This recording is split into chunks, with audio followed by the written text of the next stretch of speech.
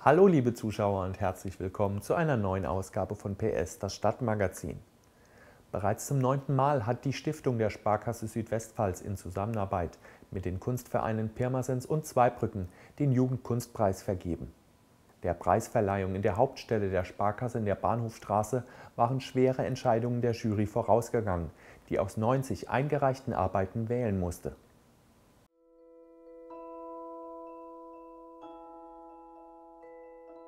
Der Jugendkunstpreis 2012 wurde in drei Alterskategorien vergeben. Die Qual der Wahl hatte dabei die Jury, bestehend aus Mitgliedern der Kunstvereine Pirmasens und Zweibrücken sowie dem Vorstandsvorsitzenden der Sparkasse Südwestpfalz, Rolf E. Klein. Jener begrüßte die jungen Künstler und ihre Eltern als Hausherr zur Preisverleihung.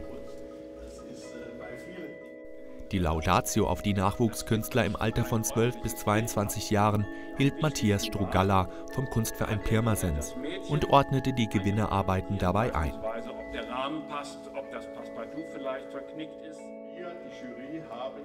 Die Preisübergabe übernahm der Zweibrücker Oberbürgermeister Kurt Pirmann.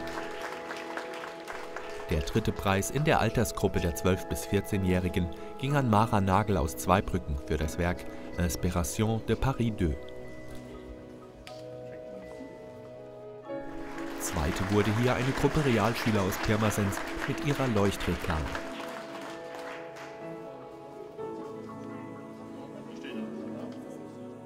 Die Altersgruppe gewann Katrin Grunhofer aus Pirmasens für ihre Fotostrecke Schneewittchen.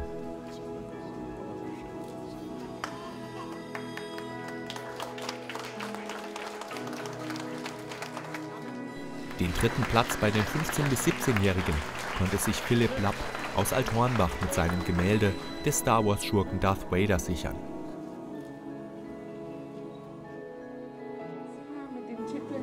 Zweite wurde Lea Theisinger aus Lemberg mit ihrem Werk hinter verschlossenen Türen.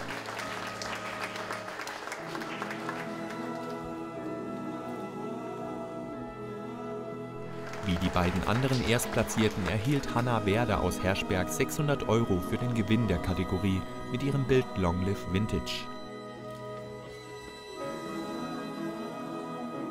200 Euro gingen für den dritten Platz bei den 18- bis 22-Jährigen an den Pirmasenser Jonas Zeunert für das Werk Let's Listen to the Weight of Capitalism. Den mit 400 Euro dotierten zweiten Platz erreichte Karin Mahler aus Zweibrücken für Puke Happiness.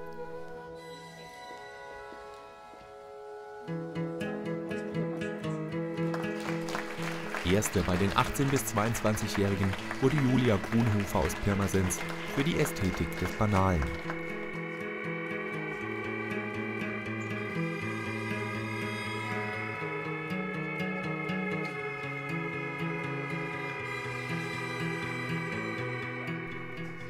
Eine Themenvorgabe hatte es nicht gegeben, vielmehr stand die Umsetzung eigener Ideen im Vordergrund. Ziel der Ausschreibung war es wie in jedem Jahr, den Nachwuchskünstlern einen Weg zur aktiven und kreativen Auseinandersetzung mit dem Thema Kunst aufzuzeigen.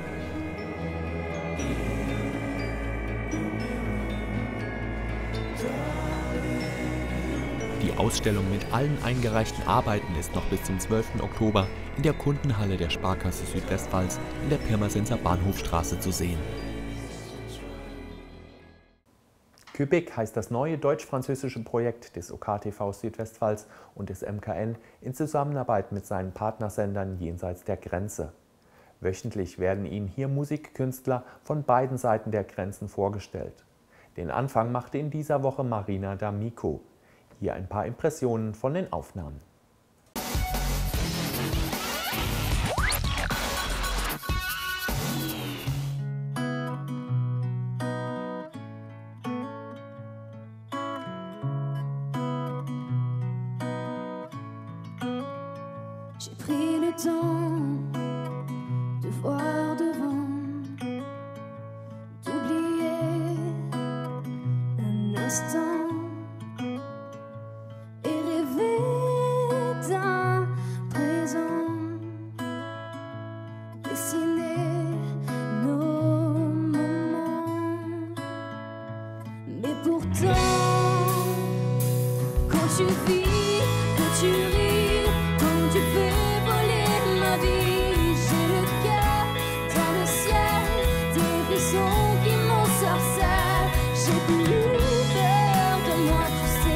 J'ai juste besoin de toi. J'ai peur du vide. C'est pas ma première scène, je chante depuis que j'ai l'âge de 4 ans. Dies ist nicht mein erster Auftritt. Ich singe seit ich vier bin und habe schon bei einigen Gesangswettbewerben mitgemacht und hatte einige Fernsehauftritte.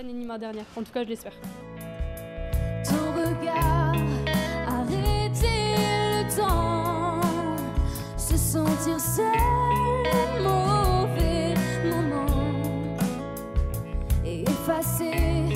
C'est entre guillemets particulier et c'est euh, super touchant de, de faire le premier Kubik. Für mich ist das echt etwas Besonderes, dass ich in der ersten Ausgabe von Kubik singen durfte. Denn das Projekt verbindet Frankreich mit Deutschland, sodass es letztlich keine Grenzen mehr gibt.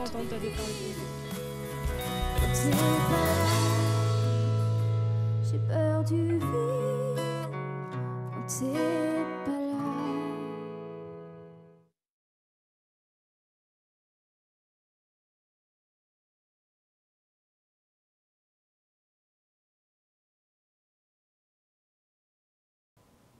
Ende September überreichte der Lions Club und die Lions Hilfe Pirmasens einen Scheck in Höhe von 12.300 Euro an Bürgermeister Peter Scheidel.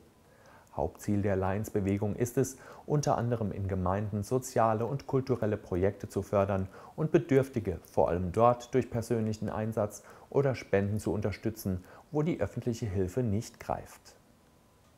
Mittel, die können nicht garantieren. Darmstadt zwei Gruppen städtischerseits an den Kontakt. Aber jetzt nochmal. Wenn man es alle verteilt hat, würde ich sagen, machen wir Dann haben wir einen. das Nardini-Haus, dann haben wir die Protestanten. Ja, danke sehr. Und dann haben wir noch die Stadt. Okay, Für die, vielen Dank. Äh, für die zwei da. Wir sehen, dass wir diese Sprachförderung äh, nicht Manche Dinge, die wir jetzt großzügig betreiben, nicht mehr möglich. Noch 68.000 Euro in 2011 hinaus engagiert. Es ist wichtig, dass uns das Land unterstützt mit einer Basisförderung, dass wir die Sprachförderung in den Kindertagesstätten auch darstellen können. Aber leider ist diese Höhe der Förderung natürlich nicht ausreichend, nicht flächendeckend möglich hier in unserer Stadt. Aber wir haben, das können wir so eindeutig auch sagen, durchgängige Sprachproblematik in allen Einrichtungen.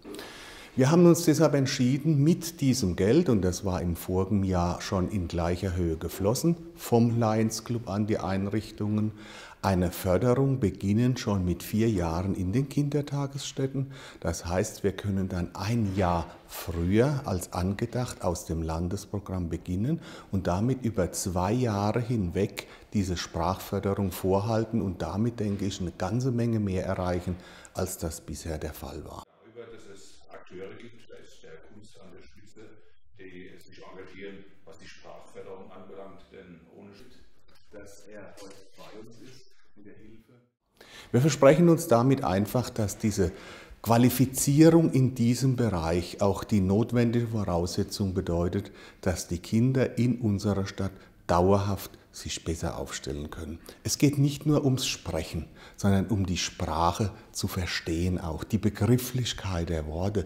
Was sagt so ein Wort letztendlich mit seiner Bedeutung noch aus? Da kann man ja mit der Sprache so richtig spielen und das zu lernen, also nicht nur sprechen zu können, sondern auch die Sprache zu verstehen. Das muss sehr früh beginnen. Und schön natürlich, wenn die Kinder dann nicht nur sprechen, sondern irgendwann in der Schule auch mal viel lesen, denn dann kann das eine Fortsetzung erfahren.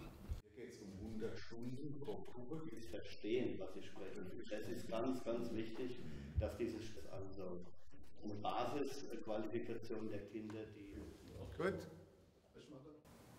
Türen können eine spannende Sache sein, die viel erzählen und auch Fragen aufwerfen. Sie können ein Eingang in eine andere Welt sein oder etwas verbergen. Mit dem Thema Türen in Pirmasens hat sich der Künstler Bernd Diergarten zwei Jahre lang beschäftigt. Seine Ausstellung kann in der VR-Bank noch bis zum 26. Oktober besucht werden.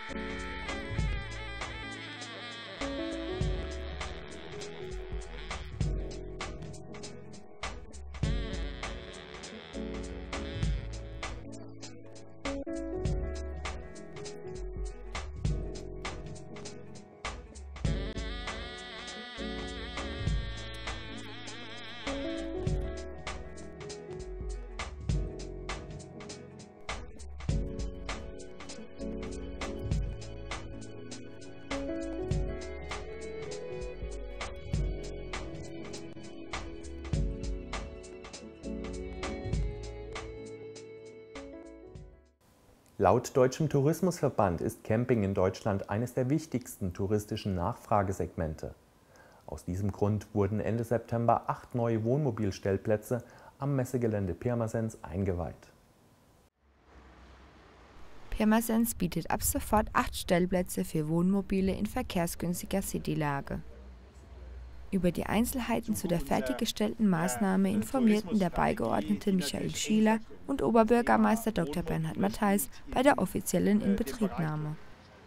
Die Anlage auf dem Messgelände sei zentral und gut erreichbar gelegen und verfüge darüber hinaus über eine Top-Ausstattung, die für mobile Besucher keine Wünsche offen lässt, so Oberbürgermeister Mattheis.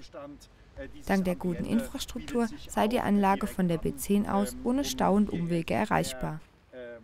Warum es in Pirmasens die 5 x 12 Meter großen Stellplätze gibt, erläutert Baudezernent Michael Schieler. Ja, wir sind ja auf dem Weg hin, die touristischen Attraktionen in Pirmasens immer weiter auszubauen und zu verbessern.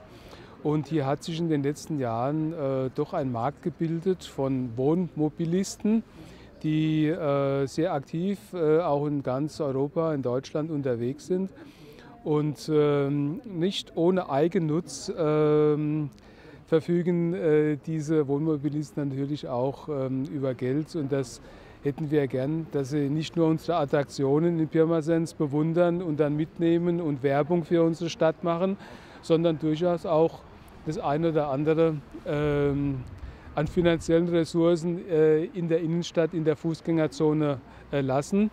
Äh, sodass also davon auch die Innenstadt äh, und unsere Geschäfte und unsere Arbeitsplätze letzten Endes davon profitieren. Wohnmobilreisende fahren ohne Reservierung die Anlage an und erwerben am Parkscheinautomat für 5 Euro eine Tageskarte. Für einen weiteren Euro sind 100 Liter Wasser und 6 Stunden Strom inklusive. Die Abwasserentsorgung ist kostenfrei. Normalerweise liegen die Campinganlagen für Wohnmobilreisende außerhalb der Stadt. Warum diese nun aber in die Innenstadt wandern, erklärt die Ehrenpräsidentin der Reisemobilunion Helga Färber. Wir plädieren dafür, dass es zumindest Parkplätze in der Stadt gibt, ereignisnah. Es ist ganz wichtig, wo man sich äh, etwas ansehen will oder wo ein Ereignis stattfindet. Da sollte der Reisemobilfahrer auch die Möglichkeit haben zu parken oder zu stehen, auch für die Nacht. Warum? Wenn ich abends irgendwo essen gehe und trinke ein Glas Bier oder ein Glas Wein, darf ich nicht mehr fahren. Äh, man nimmt sich kein Taxi, um zum Stellplatz zu fahren, der außerhalb ist. Und deswegen sollte äh, da jede Stadt ein bisschen mm, ja, das dabei berücksichtigen, dass sie sagt, ich versuche vor Ort dann einen Park- oder Stellplatz zu schaffen. Der muss nicht unbedingt Ver- und Entsorgung haben, sondern Parkflächen reichen auch.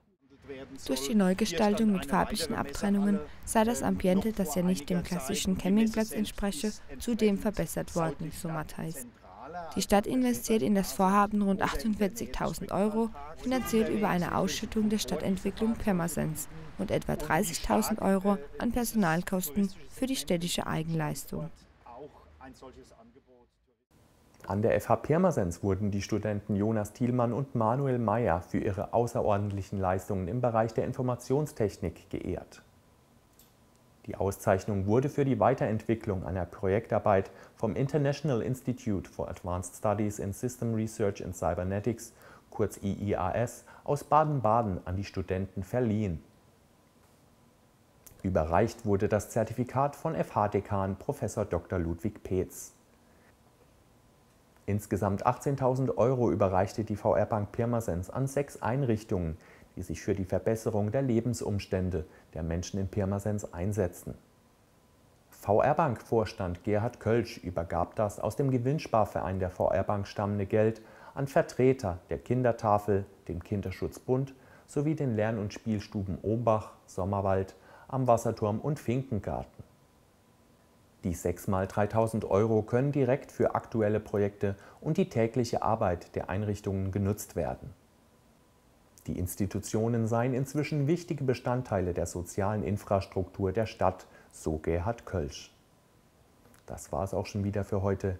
Ich hoffe, wir sehen uns nächste Woche zu einer neuen Ausgabe von PS, das Stadtmagazin wieder. Bis dahin machen Sie es gut und tschüss.